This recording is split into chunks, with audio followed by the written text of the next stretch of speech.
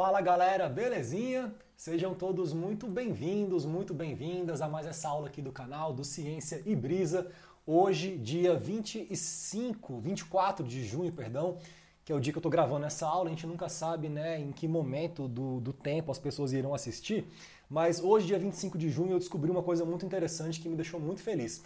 Eu descobri que eu sou cringe desde os meus 15 anos de idade. Eu fiquei muito feliz com essa palavra, assim, porque de repente eu vi o pessoal levando muito a sério essa discussão dos millennials e da geração Z, de que a molecada, os nativos digitais, assim, eles acham cringe, que é uma coisa meio blasé, meio fora de moda, demodê, meio brega talvez, meio né, meio, não sei nem a palavra mais que seria adequada, mas enfim, e eu vi os millennials muito muito ressentidos, mas essa molecada, não sei o quê.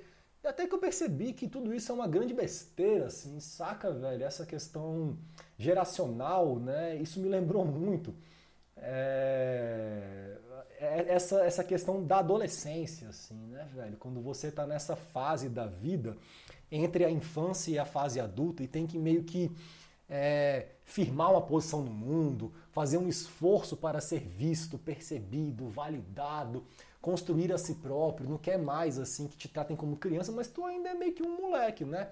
Não é também um adulto, que é uma coisa muito complicada. Eu era um um adolescente muito chato, assim, meu Deus do céu, insuportável, completamente imbecil, assim. E eu acho que é natural da adolescência, aí você falaria, não, mas a geração Z não é adolescente, mas se comporta como se fosse, né? Ficar enchendo o saco porque tomar café cringe, vai se fuder, velho. Né? Então, quando eu percebi que isso não era muito sério, eu comecei a me divertir com essa palavra e fiquei muito feliz. Agora eu, né, eu, eu falo com muita alegria no coração que eu sou cringe. E é uma palavra que ela soa imbecil, assim, cringe, né?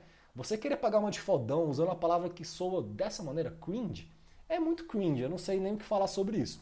Mas enfim, não estou aqui para falar sobre os cringe, estou aqui para falar sobre é, ciclos de geração de potência, dando continuidade ao nosso curso de termodinâmica. E essa é uma parte do curso que eu gosto muito, assim, que eu acho muito, muito legal.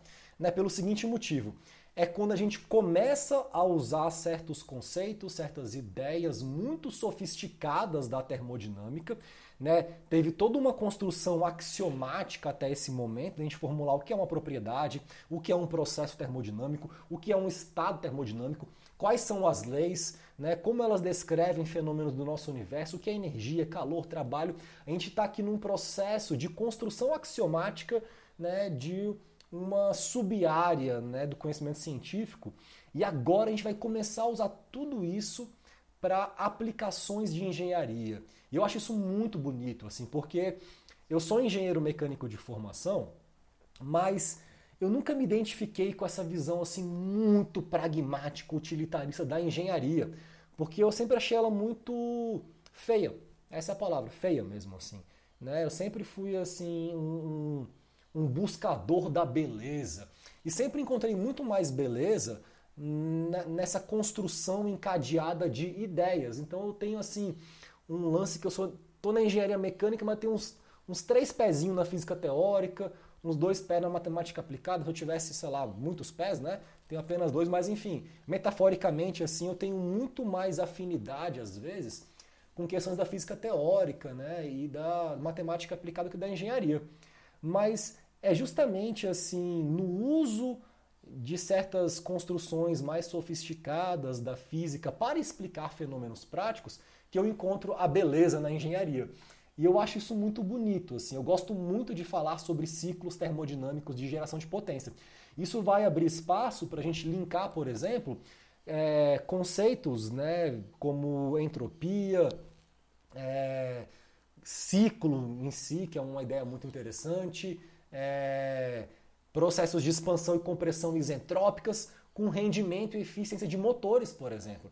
Então a gente vai linkar toda essa construção com questões muito práticas, né? E eu acho que isso para os alunos de engenharia é muito interessante, porque eles começam a entender, por exemplo, né, qual que é a relação entre a taxa de compressão no motor a combustão interna e o rendimento do ciclo, por exemplo. Questões muito práticas mesmo de motores, de turbinas, de ciclos, né, que vão ser explicadas à luz da termodinâmica. Assim. Eu acho isso lindo, lindo, lindo. Na última aula eu introduzi para vocês o ciclo de Carnot, que é esse ciclo teórico de geração de potência, de máximo rendimento possível de acordo com as regras da termodinâmica. Vocês vão lembrar aqui comigo que é, todo o ciclo de geração de potência, eu falei isso na última aula, isso é muito importante, ele é formado por quatro processos básicos, uma compressão, em que você vai comprimir o fluido de trabalho, e aí você vai adicionar calor. Então, esses dois estágios iniciais você está pagando para comprimir, você gasta energia para comprimir esse material, esse fluido de trabalho. Né? É, em, em motores a combustão interna seria essa mistura ar-combustível, tanto gasolina, álcool ou diesel, né? o que muda é só a questão da combustão. Então você comprime isso daí é, e aí você depois adiciona calor. Também paga por isso, numa queima. Depois que você adiciona calor e comprime, você eleva a entalpia do seu fluido de trabalho. Lá nas alturas, você vai colher os frutos. Você vai ter uma expansão em que esse fluido altamente pressurizado, quente, ele vai liberar essa energia e vai, uh, você vai usar essa energia para gerar um eixo ou coisa do tipo. Depois da expansão, você vai ter uma rejeição de calor para que você volte para o início do ciclo.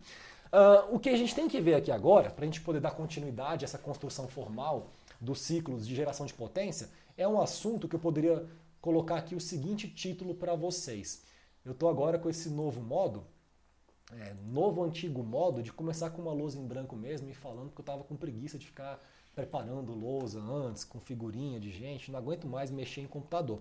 O que a gente vai ter que ver aqui agora são relações termodinâmicas, isso vai ser muito útil, para hum, processos de expansão ou compressão isentrópicos.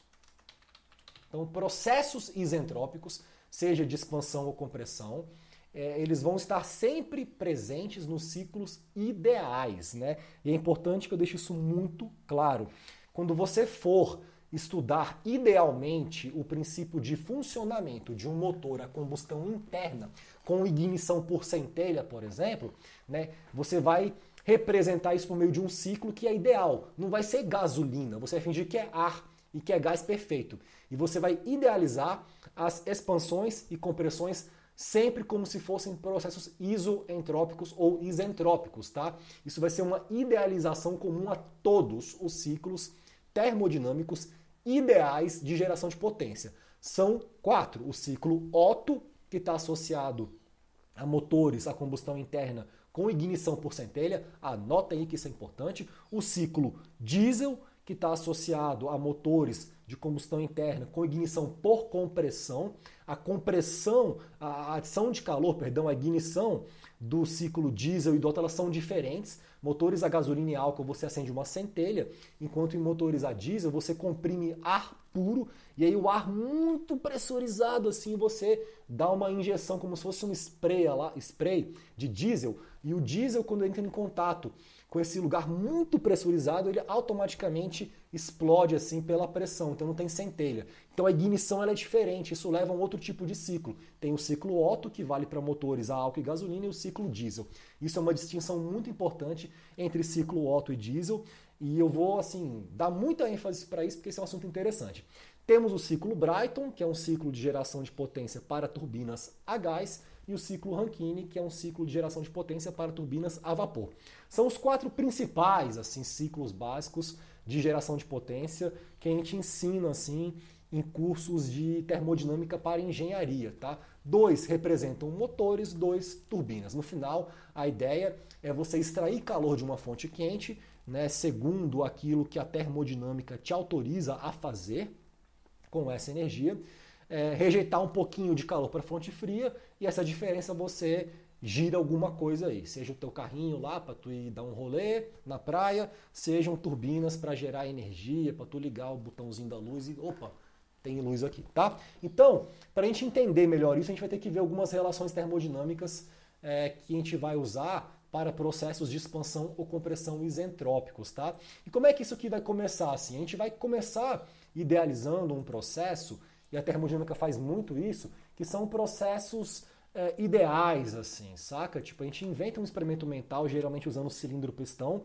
para ir buscando relações entre comportamentos de propriedades termodinâmicas. Então, eu vou começar aqui com vocês com o seguinte experimento mental. Vamos comigo. Considere né, um processo de adição de calor no cilindro pistão ah, ah, livre, vamos assim, para se expandir. Então não existe assim nenhum tipo de restrição em relação ao volume, não é volume constante. Ele, né, você vai adicionar calor, imagine, sei lá, um cilindro aqui dentro, um gás perfeito para ficar mais fácil. A gente vai trabalhar muito com gás perfeito, né? Vamos pôr aqui gás perfeito, porque esse aqui é o rolê que a gente vai usar para idealizar essas relações que a gente vai aplicar para esses ciclos. Uh, e pela primeira lei, caso esse processo seja internamente, internamente reversível, isso aqui é muito importante falar, porque eu estou buscando relações para processos isoentrópicos, ou seja, processos que vão estar associados a uma não variação da entropia daquela, daquele fluido. Né? A gente viu já na última aula, na penúltima aula, perdão, né? e aqui é bom pôr minha canetinha para a gente fazer algumas anotações válidas, que a... deixa eu ampliar aqui, vamos ampliar, pronto, ótimo. A gente já viu já que uma variação de entropia ela seria representada como se fosse uma integral num processo, vamos assim, internamente reversível desse diferencial de calor sobre T, ou, se for um processo real, ela seria dada por essa integral aqui, num ciclo qualquer, num processo fechado, mais um termo que eu vou chamar de sigma, que seria essa geração de entropia. Seriam duas formas, na verdade, né, que a gente teria é, para representar a mesma ideia. Mas se eu idealizo um processo internamente reversível, um processo sem atrito, um processo sem irreversibilidades, um processo perfeito, maravilhoso, ideal, seguindo as recomendações de Carnot para a gente buscar essas idealizações que vão nortear a gente na nossa construção, no nosso entendimento daquilo que é possível de ser feito na realidade, a gente teria essas duas possibilidades de interpretação. Né? Então daqui eu já tenho uma relação que é muito importante, que é uma relação que a gente chama de relação TDS, que me fala o seguinte: se o meu processo é internamente reversível, o meu diferencial de calor nesse processo internamente reversível, ele poderia ser dado por uma relação T-ds. Eu tiro a integral aqui, eu transformo esse delta num D, um ds. Né? O kernel dessa minha integral aqui, dq sobre t, seria um diferencial de, de entropia, assim, vamos colocar dessa maneira, tá? Então essa relação TDS ela é muito comum a gente usar. Então se eu aplico a minha primeira lei, para o meu processo ideal de uma compressão ou expansão né, de um fluido de trabalho, de uma substância pura, dentro de um cilindro pistão livre para se movimentar, o que essa primeira lei vai me falar vai ser o seguinte, que esse diferencial de calor num processo internamente reversível, que eu já sei que é igual a TDS, esse cara vai ser igual a um D de energia interna, né, mais um D de trabalho, também associado a um processo internamente reversível.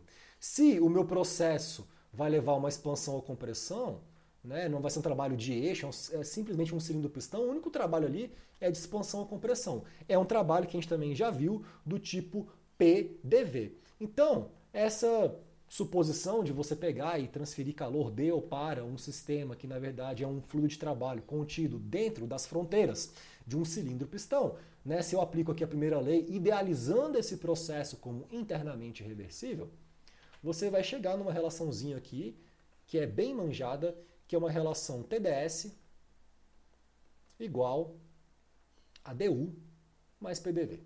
Eu estou aqui deduzindo para vocês algumas relações termodinâmicas que a gente vai utilizar bastante para poder é, modelar, sabe, o comportamento de uns ciclos termodinâmicos ideais de geração de potência. Então, talvez eu nem entre na aula de hoje ainda nos ciclos em si, porque eu quero gastar um tempo aqui deduzindo relações que eu vou utilizar nas próximas aulas é, na nossa construção aqui desse entendimento todo. Agora, essa equação aqui, eu vou dar um número para ela. Ela vai ser uma equação número 1. Será que enumerar a equação é cringe? Não sei. Né? É bom saber, a gente tem que perguntar para essa molecada aí da geração Z, que são vocês, inclusive, que estão me assistindo, né? Eu estou aqui falando mal de vocês, olha que coisa absurda, né? que na verdade não estou falando mal, estou falando, na verdade, a minha visão, assim, que eu acho muito engraçada, assim, vocês são muito doidos, velho. É, os cringe, geração Z. Bom, é, depois me falam se é cringe você escrever aqui equação no quadro.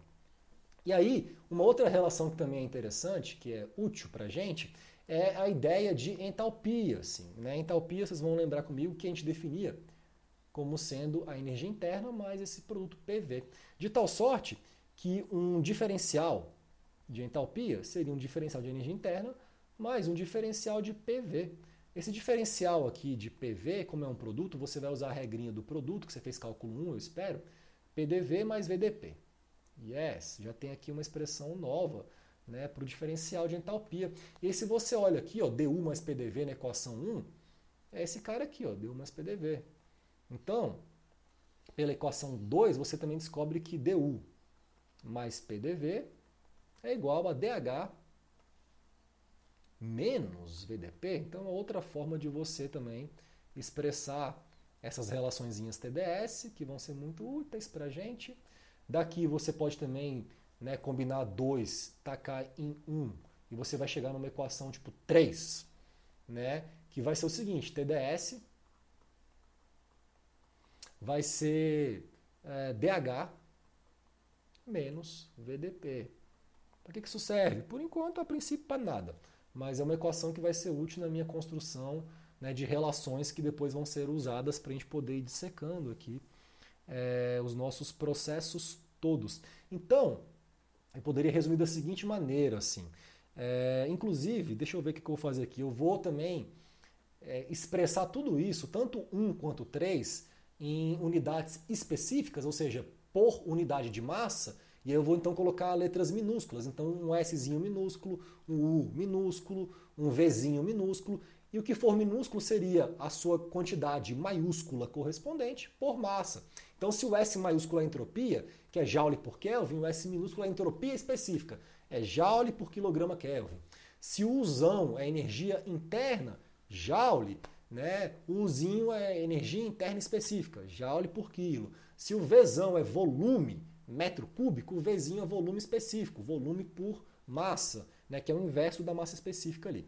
Então eu posso também pegar tanto assim 1 e 3, que são equações análogas, e dividir pela massa e pela temperatura, vamos colocar assim, eu teria duas relações interessantes, que o diferencial de entropia específica, esse cara seria um diferencial de energia interna específica, mais P dVzinho, volume específico aqui, ou, ah, desculpa, sobre T, faltou aqui, Faltou sobre aqui. T. E aí depois eu vou usar a relação de gás perfeito. Vai ser uma aula bem legal para a gente deduzir relações termodinâmicas úteis na análise de ciclos termodinâmicos de geração de potência. Esse curso aqui de termodinâmica eu acho mó barato. É a primeira vez que eu ministro um curso desse, totalmente online, de maneira voluntária, né? só porque eu gosto de ensinar, porque eu acho legal também. Gravar aula está sendo uma das coisas mais legais da minha pandemia, assim, porque é um tédio às vezes. E quando estou entediado assim, estou meio de férias ainda, não voltou ainda o semestre letivo da UNB, mas eu falo, vou gravar umas aulas ali porque eu acho massa. Essas equações aqui eu vou dar um número, né? 4 e 5. Ah, bom, até agora a gente tem isso, algumas relações que a gente está tentando construir aqui para poder chegar em relações mais interessantes. Aí agora eu vou colocar uma coisa nova na jogada, né? uma, uma ideia nova na mesa, que é a ideia de calor específico. Talvez você já se lembre de calor específico, né? Tipo do, do segundo grau, não sei, porque é uma, é uma grandeza familiar assim para vocês, né? Eu imagino. Se não for, a gente revisa aqui agora, não tem problema nenhum. O que é calor específico e como que isso vai nos ajudar? Bom, primeiro vamos definir o que eu chamo de calor específico. Calor específico a definição que eu lembro de cabeça aqui, né, que eu já ouvi mil vezes, é o seguinte: é a quantidade de calor necessária para aquecer um grau, vamos pôr assim, Kelvin, mas pode também ser Celsius, né, não tem problema nenhum, para crescer um grau, melhor, para aquecer um quilograma de uma substância, não vai caber aqui porque está pura, em 1 grau Kelvin. É só isso. É quantos joules eu tenho que colocar por quilograma para cada Kelvin que eu quero esquentar de uma substância. Então, assim, pela definição do que eu chamo de calor específico, você já tem noção de que esse C, calor específico, ele vai ser alguma coisa aqui, vamos puxar uma setinha, que eu vou medir em joule por quilograma Kelvin. Joule por quilograma Kelvin.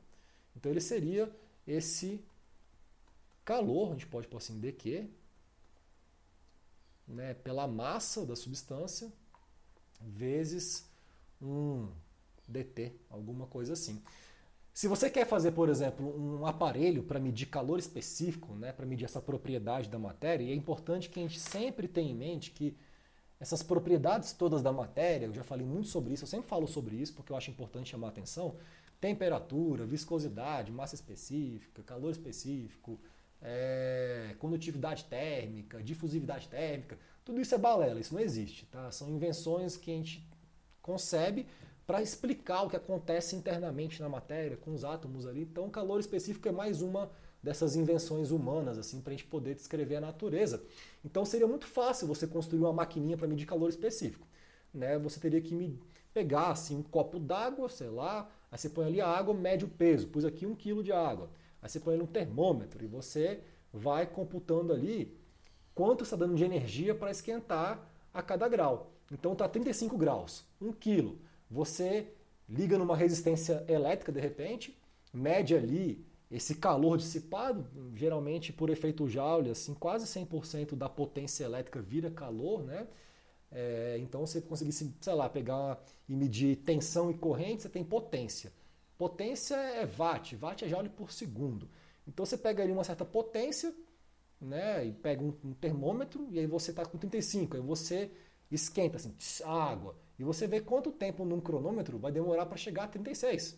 Aí esquentou um grau, demorou 30 segundos, a potência é de tantos watts. Você calcula quantos joules você colocou, tem 1 kg em 1 grau. Joule por quilo grau é o calor específico. Agora, se o seu processo de medição dessa propriedade ele é feito a volume constante ou a pressão constante, aí vira o tal do CV ou o tal do CP, tá? Fato é, cara, que a gente consegue linkar tudo isso com energia interna e com entalpia. Então, esse Czinho aqui a princípio é calor específico, né? Se vai ser a pressão constante ou a volume constante, já são outros 500. Então, vamos entrar nesse detalhe assim. Imagine, para a gente poder definir calor específico, CV, CP, acaba que essa aula aqui é uma aula de propriedade, você sempre vai meio que ganhar alguma coisa, assim, por mais que você ache que sei o que é calor específico, vai ver que às vezes não sabe tanto assim, né? Ou tem sempre uma nova forma de ver, ou de, sei lá, aprender um pouco mais sobre alguma coisa, eu acho que isso é muito importante. Então, imagine aqui que eu queira, sei lá, velho, né?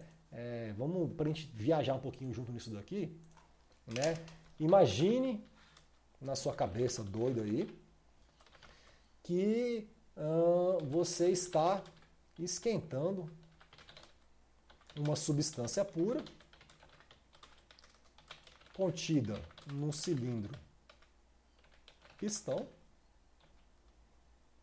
uh, preso num calço que não permite expansão, vamos por assim, variação de volume, porque o mesmo valeria para esfriamento e contração, né, ou compressão. Então, pela primeira lei, se você faz isso, você teria uma relação assim simples, que seria o seguinte: essa quantidade de calor que você colocou aqui para fazer isso, dq, ele vai ser igual a du, a variação da energia interna, porque não tem trabalho, está fixo ali o volume e tal, né? não tem como. E aí se eu divido isso aqui né, por pela massa e por um dt, e aqui eu faço a mesma coisa, massa e um dt, esse cara passa a ser um calor específico a volume constante, porque o meu processo é a volume constante. E aqui eu vou ter um D, vamos pôr assim para simplificar, energia interna específica, dt. Tá? Então, eu poderia daqui falar também que DU é calor específico a volume constante, dt. Outra relação que eu ganhei de brinde. Agora imagine que você faz a mesma coisa, mas o teu cilindro pistão, ele está livre para variar. Então agora vamos escrever isso aqui. Ele pode se expandir. Imagine agora que você executa o mesmo procedimento, só que dessa vez o seu pistão está livre para se expandir. O que, que vai acontecer? Se eu aplico, vamos assim, pela. Não funciona. Primeira lei. O que você vai ter aqui? Vamos escrever.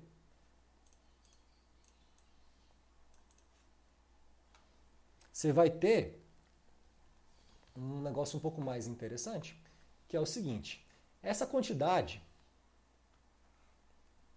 de calor que você está ali adicionando, ela vai variar não só, vamos pôr aqui maiúsculo, a energia interna, como ela vai estar tá associada também a um trabalho né, que a gente pode pôr assim, de expansão, trabalho de compressão, sei lá, alguma coisa do tipo assim, tá? Que é um trabalho tipo PDV, né? Então você teria a mesma coisa, DU mais PDV, né? Que a gente já viu ali que é a mesma coisa que DH menos V. Essa, essa, eu acho isso muito legal. Menos V dP. É uma relação. Se eu divido aqui é, pela massa e pela temperatura, então isso aqui, massa dt, aqui a gente pode pôr massa dt, eu teria um calor específico, agora a pressão constante, porque agora o volume pode variar. Mas eu estou idealizando, e eu não falei isso aqui, que a pressão é constante, isso é importante. Como que se mantém a pressão constante? É muito fácil, velho. A pressão do gás ali dentro, da água, sei lá, da tua substância pura num cilindro pistão, ela vai estar associada tipo, ao peso do pistão ali em cima né, e uma área. Então, desde que ele esteja livre para variar, e a pressão atmosférica aqui embaixo é em torno é a mesma, a pressão vai ser constante, não é nenhum absurdo. Então, se fosse a pressão constante, agora o volume variando, você teria esse cara como sendo dHzinho dt. Só que se a pressão for constante, dP já é zero. Então, você tem outra relação, que dH vai ser Cp dt. Beleza? Duas novas relações que eu vou poder brincar com elas. E eu vou além ainda, agora eu vou brisar e falar, velho, imagina que é gás perfeito. O que, que acontece? Então a equação aqui, acabei de ver e esqueci. É a 6 e a 7. Essas aulas, galerinha, eu acho que é meio que importante, caso você realmente queira aprender, não está aqui só para ver um, um velho cringe falando de física e tal, é ter um caderno, anotar as coisas, tá? Se, se o seu intuito for aprender, tá? Eu acho que é importante, assim, porque isso vai consolidando um entendimento das relações entre as propriedades termodinâmicas, né? Eu acho isso Senão começa a ficar um monte de equação e você tipo, já não lembra o que é equação 4. Eu mesmo agora falo assim, qual é a equação 3? Eu não sei, eu teria que subir aqui minha lousa e ver. Porque não é para você ficar decorando as equações, é para você entendendo a dedução. Tá? O resto é meio que consequência. Então a gente também tem duas novas relações. Olha que coisa maneira, né? Se eu estivesse lidando com gás perfeito, então vamos escrever aqui gás perfeito. Gás perfeito. Isso aqui você tem uma, uma equação de estado, né? Famosa que você vê no segundo grau, que é o PV igual a NRT. E eu sempre falo, cara, você vê essa equação de estado da seguinte forma: PV igual a NRT.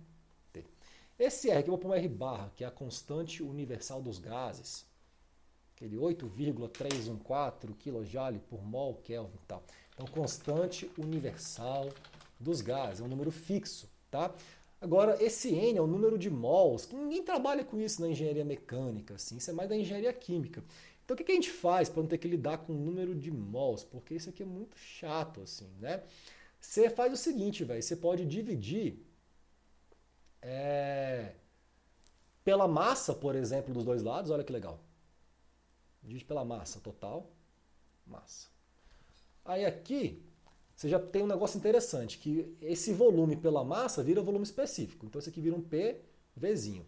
E esse número de mols pela massa daquilo, isso é o quê? Mols por quilograma. Ou seja, isso aqui é o inverso do que eu chamo de massa molar. Massa molar é quantos quilos você tem em um mol né, de um dado elemento ali, de uma substância pura. Isso é tabelar, todo mundo sabe isso, tá? Né, a massa molar do ar, assim, isso é uma informação que todo mundo meio que já sabe. E aí, você continua aqui com um Rzão e aqui um T. Só que aí o que, que vai rolar? Esse R, que é universal, que é o mesmo para todos os gases, você vai dividir, né, vamos pôr assim, pela massa molar do teu gás. Então, se for uma substância pura, ar, é uma massa molar, se for oxigênio é outra, se for CO2. E aí isso eu vou chamar de R que é um R que não é mais universal, mas é uma constante daquele gás, vamos pôr assim, tá? Constante de um dado gás específico. Que seria a constante universal dividida pela massa molar do gás. Então o R barra virou só um R. E eu vou usar uma outra versão dessa equação que eu acho que é mais interessante para a gente, que é o PV igual a RT. E aí você para de trabalhar com essa ideia de número de mols, porque isso aqui a gente não gosta muito não na engenharia mecânica, tá? Mas também se quiser trabalhar com PV igual NRT, que nem você fazia no segundo grau, seja cringe à vontade. Desculpa, eu descobri essa palavra ontem, estou empolgado com ela, vou usar cringe a aula inteira. Porque isso é de um nível de idiotice tão grande que não pode ser levado a sério. Se você levar essas coisas a sério, você fica doido. Inclusive, eu acho que tem uma sabedoria muito grande assim, quando você chega numa idade da sua vida, em que você consegue discernir claramente o que deve ser levado a sério e o que não deve. Você para de gastar tempo, preocupação, neurose com idiotice, assim. Não vale a pena, assim. Pior que tem gente que vive até os 90 anos e não aprende, leva tudo a sério, assim. Não pode também, você se acalme, tem que né, ter um pouco de humor para lidar com a vida, senão fica insuportável. Então a gente tem a equação 7, equação 6, equação 8. Quantas equações interessantes né, que a gente pode aqui usar para poder tentar é, chegar em outras relações um pouco mais interessantes. E aí o que, que eu vou fazer aqui, velho? Eu vou usar tudo isso assim, porque eu acho que vai ser bacana, numa forma só. Como assim? Vamos subir um pouquinho. Então, equação 4 e 5, eu vou até copiar porque elas vão ser usadas aqui.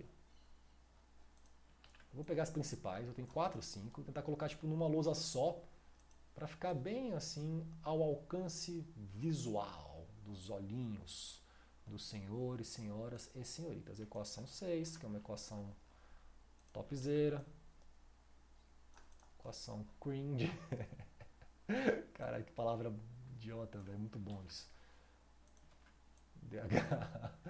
E aqui a equação 8. Pronto, agora a gente tem a equação para brincar. Se a gente combina tudo isso, vão comigo aqui. Vamos ver se a gente consegue chegar num lugar interessante aqui. Eu pego na equação 4 e vou falar o seguinte: ds é igual a du, que pela equação 6 é cv dt sobre t, né? mais p sobre t, que pela equação 8 é r sobre v. dv. É isso que eu queria chegar? O pior é que é isso mesmo. Isso aqui vai ser uma equação 9. E eu pego a minha equação 5, que fala que esse mesmo ds também ele poderia ser representado pelo dh, que eu sei que é cp dt sobre t, menos v sobre t, que pela equação 8, v sobre t é r sobre p dp. Aí tu já fica felizão porque você fez cálculo 1, você é uma pessoa esperta, você vai lembrar das integrais logarítmicas que aparecem aqui, que é um negócio muito interessante. Né? Agora, cara, para gás ideal, né, se você olha para tudo isso daí, velho, você vai ser capaz de provar um fato muito interessante, assim, que é o seguinte: para gás ideal, e eu vou deixar isso como desafio, senão fica muito. Se eu der tudo de bandeja para vocês, vocês não aprendem porra nenhuma também. Eu tenho que deixar alguma coisa assim pra vocês pelo menos pensar um pouco, assim, falar, ih, como é que faz isso? Então, para gás ideal, deixa eu escrever aqui. E não é para você ver no livro como é que faz, é para você pensar e você mesmo fazer. Pare de, perca esse medo, pelo amor de Deus, de usar papel, lápis e cérebro. Pega um papel, lápis, se tiver problema de vista, põe um óculos, uma luz boa aqui, ó, e Como é que eu faço isso? Sem pegar livro, sem perguntar para o Google. Tente, pelo amor de Deus, senão você nunca vai aprender nada. Eu sempre falo que só aprende uma coisa quando você passa pela frustração de não entender uma coisa. Aí você entende e fala, ih, caralho, aprendi. Quando você aprende uma coisa, você tem um sentimento. Você não fica lá passivo, babando, assim, você fala, caralho, aprendi. Então, assim, tente. Para gás ideal, eu quero que você mostre na sua casa que a seguinte relação é válida, tá? CP é fácil mostrar isso, não é difícil não. É igual a CV mais R. O que diferencia CP de CV é essa constante R. Então, a princípio, são quase que iguais. Tá? Mostre isso na sua casa. Essa relação, eu vou dar um número para ela. Relação 11. E agora, o que a gente vai fazer? A gente vai integrar as equações 9 e 10 e admitir que CP e CV são constantes. Então, vamos escrever isso aqui. Integrando 9 e 10 e admitindo, opa, admitindo CP e CV constantes, o que, que você vai ter, meu, meu, meu filho? Você vai ter o seguinte, que delta S, ou você poderia colocar S2 menos S1, esse cara seria CV, aqui você vai ter um LN,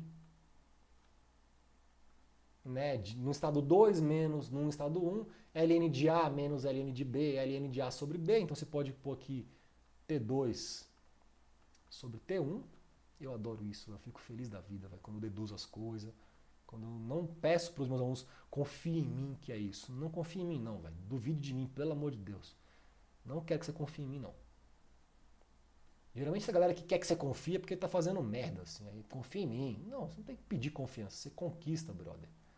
Então duvide de mim, por favor. Tá? E duvide de mim, mas cheque assim. Se eu tiver errado, você me corrija, por favor. Tem gente que tem medo de errar. Eu acho isso, eu acho errar muito massa, porque quando você erra, você, quer dizer que você não sabe. Porque quando você sabe, perde a graça. O legal é aprender, né?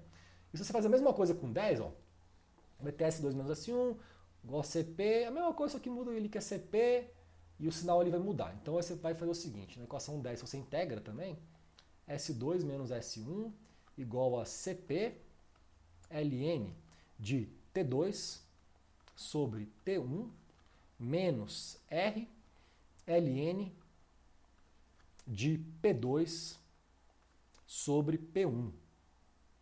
É isso mesmo, produção? É isso mesmo. E esse é um Brasil que a gente estava buscando brincando, vai. Esse é um Brasil bonito, né? E aí, o que a gente vai fazer aqui agora então? A gente tem essas duas equações. Hum, eu queria dar algum número para elas. Como tá já tipo bem na bordinha do quadro, deixa eu fazer seguinte, salvar esse quadro aqui antes, porque vai que cai energia aqui, vai que eu perco tudo. Né? Então, tô torcendo para não cair, velho. Que minha casa eu moro no meio do mato aqui, cai energia direto, velho.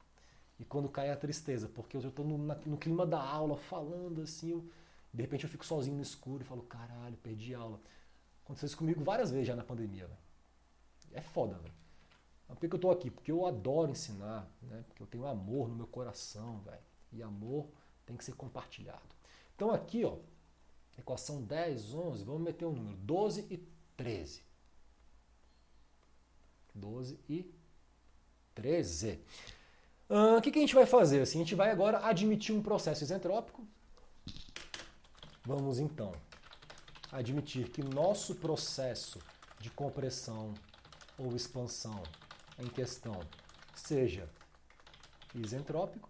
O que é o isentrópico? É a entropia constante. Entropia constante é o quê? S2 igual a S1. Tá? Então você vai ter esses caras sendo iguais. E aí, eu quero também o seguinte: uh, a gente vai definir uma outra propriedade, definindo. Definindo o K, que é uma razão de calores específicos, CP sobre CV. Tá? E aí, em casa, mostre que para gás. Perfeito. Isso aqui é para se mostrar em casa. Essas relações são válidas. O CP ele vai ser K vezes R sobre K menos 1. Prove você em casa, não vai para o Google não, por favor, velho. E outra coisa, se conseguir fazer, põe aqui nos comentários, conseguir demonstrar ali ou não conseguir, mas comente, né? Vamos trocar ideia, véio. me fale. Você conseguiu provar? Foi fácil? Foi difícil? Foi chato? Foi divertido? Foi interessante? Deu certo? Né? Eu acho que é importante que a gente troque também. Né? Para casa, tente mostrar isso. Duas coisas que eu pedi para mostrar, cara. Essa identidadezinha simples entre CP, K e R é muito fácil mostrar isso, não é nem um pouco difícil. E que CP igual a CV mais R. Isso aqui eu acho que você né, tem que consegue provar facilmente, tá? Então eu vou fazer o seguinte, finalmente, né? O que, que a gente vai finalizar disso daqui? Deixa eu organizar aqui. Então, utilizando. Não dei número, mas eu vou, vou dar um número aqui. Utilizando 14, vai ser 14 essa relação de CP, K e R, você vê? Tá, então, utilizando 14 e manipulando hum, 12 e 13, é possível mostrar que as seguintes relações são válidas para processos de compressão ou expansão isentrópicas de, gás, de gases perfeitos.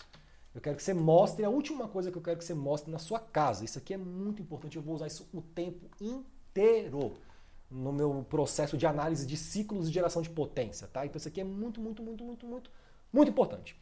Então, mostre para casa o seguinte, que nesse contexto, usando as equações que eu já mostrei na aula de hoje, T2 sobre T1 é igual a P2 sobre P1 elevado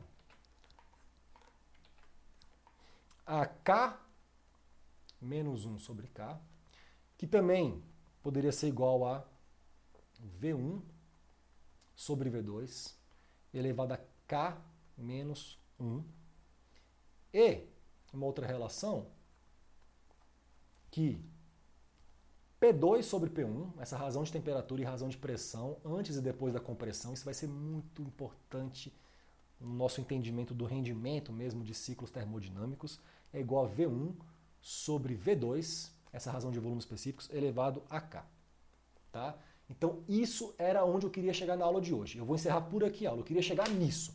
Essas relações né, entre razões de temperatura e pressão para processos de compressão e expansão isentrópicos de gases reais serão largamente utilizadas para a gente conseguir entender o princípio de funcionamento dos nossos ciclos termodinâmicos de geração de potência.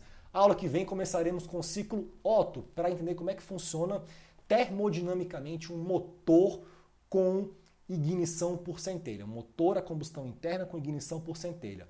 Vale para álcool, vale para gasolina. Falaremos de octanagem, falaremos de taxa de compressão, falaremos de é, de um monte de coisa prática, mas por um viés da termodinâmica. Eu vou deduzir expressões matemáticas para o rendimento desses ciclos todos, comparar o Otto com o diesel, o que é melhor, o que é pior, interpretar fisicamente, na prática, o que é interessante para um motor ser mais eficiente, quais são as limitações operacionais, e vai ser uma grande brisa. Então, galera, comentem aqui, por favor, se conseguiram deduzir as equações que eu pedi, se foi de boa, se foi fácil, se entenderam a aula de hoje. Essa aula é uma aula muito importante e na aula que vem a coisa vai ficar cada vez mais legal. Então, gratidão pela companhia virtual, né? Por mais essa aula aqui do canal. Se você está conhecendo aqui o canal agora, seja muito bem-vindo. Se já é de casa, continue sentindo em casa. Isso aqui é para vocês mesmo, não é para mim. E a gente se vê numa próxima aula do canal. Um beijo no coração de todos vocês. Arro!